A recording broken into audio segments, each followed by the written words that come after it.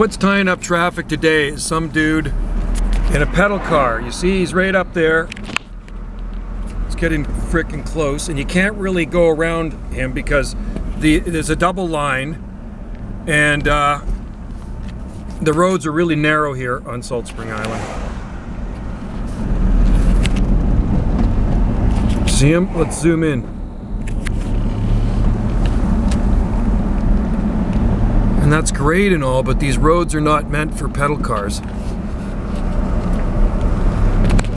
Or bicycles, really. I mean, they're very dangerous. Very dangerous place to ride a bike because it's so narrow. See him? Look at that.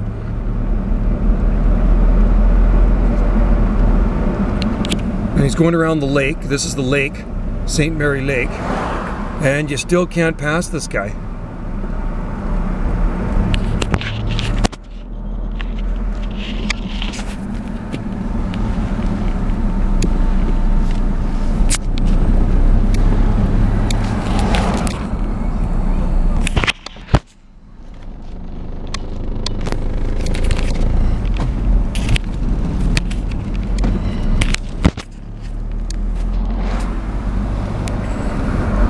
Turning. Yes! Yes! Thank you.